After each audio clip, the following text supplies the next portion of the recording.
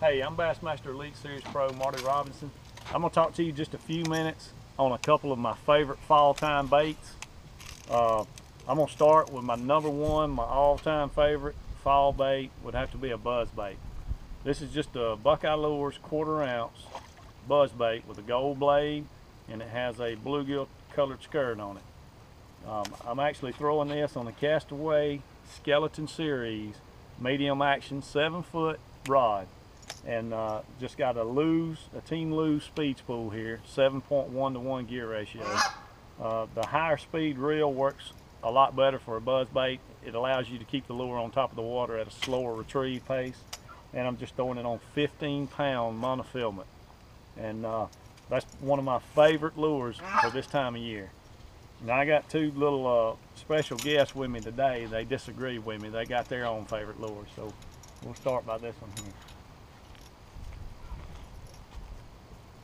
Hey, my name is Marshall Robinson, and I have a Zoom White Super Fluke here, and I'm using a new Castaway Invicta Series 7 foot medium heavy action rod. And uh, it's good in the fall. I just like to throw it around and uh, catch good fish. And Mitchell's also got some favorites. Hi, I'm Mitchell Robinson, Robinson, and I got this Castaway Invicta rod, um, DSM7, and um, a Lew's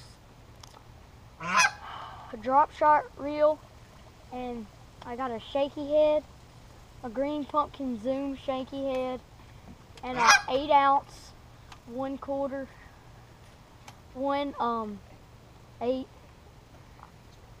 spot remover.